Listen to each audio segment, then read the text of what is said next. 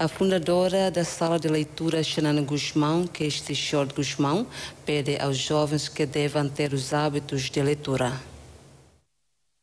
A fundadora da sala de leitura, Sanana Guzmão, Cristi Suor Guzmão, pede aos jovens que devem ter os hábitos de leitura, de modo a estimular a criatividade, pensamentos críticos e descobrir novos mundos.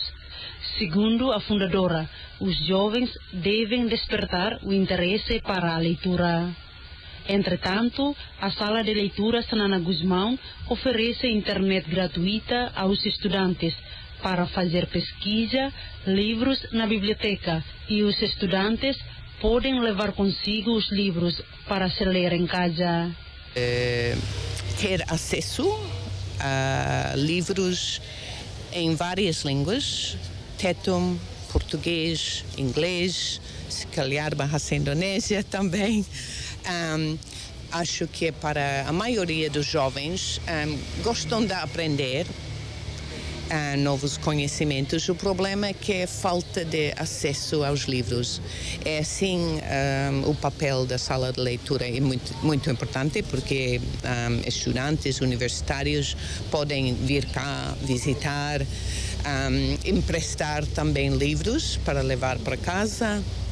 Então, acho que é uma questão de acesso a livros e também falta de cultura de, de ler, né?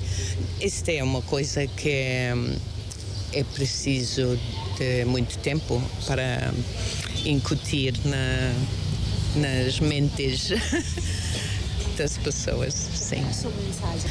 Um, a minha mensagem é de amar a sua própria cultura, a sua própria língua também um, e ter sempre curiosidade sobre o mundo.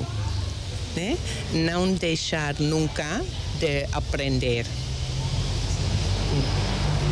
Recorde-se que a sala de leitura Sanana Guzmão foi estabelecida em julho de 2000 como a organização não lucrativa.